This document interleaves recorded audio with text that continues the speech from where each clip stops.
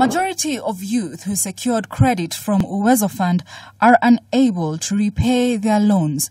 The fund's chief executive, Joseph Kirubi, says out of the 5.5 million shillings they disbursed to groups in Samburu Central, only six groups have managed to pay back their loans, while 19 others are struggling to service their loans and 75 other groups have defaulted. Kirubi says the status of the loan book has made it difficult for the fund to advance more loans to other groups. Hapa Samburu West hamujalipa chochote. Kati ya fedha ambazo zimeingia kwa hizi vikundi,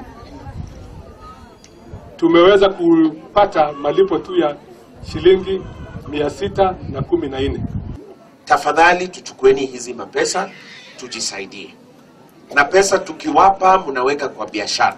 Mimi ninafurahia sana nikiona wale akina mama pale wametengeneza mashanga, wametengeneza nguo na wanaendelea na biashara yao.